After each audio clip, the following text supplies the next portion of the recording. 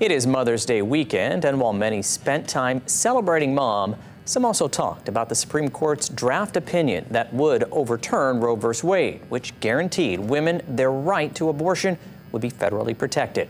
KITV4's Jefferson Tyler found out what mothers have to say about reproductive rights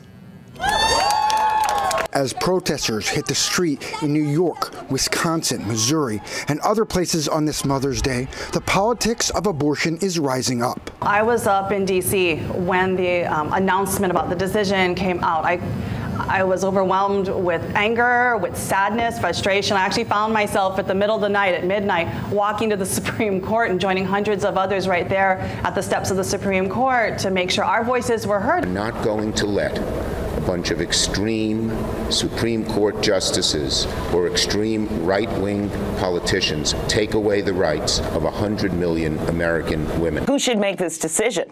Should it be a woman and her doctor or a politician? I would prefer the rape and incest exceptions to be in there.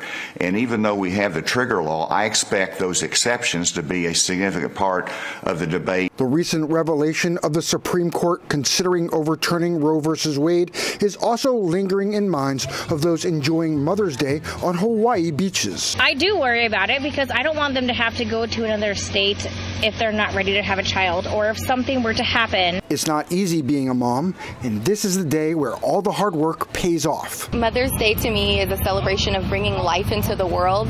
Um, being a mom is something that's a 24 7 job. You know, you're cooking, you're cleaning, you're sending the kids to school, you're making, you're taking care of them when you're sick. Spending more time with her, letting her know how grateful I am for her everyday duties as a mom, even though she doesn't have to. Raven Rosalasco is happy to be spending the day with her mom. As for the topic of abortion rights, when I know I'm ready to have a child and bring a child into this world, I will know.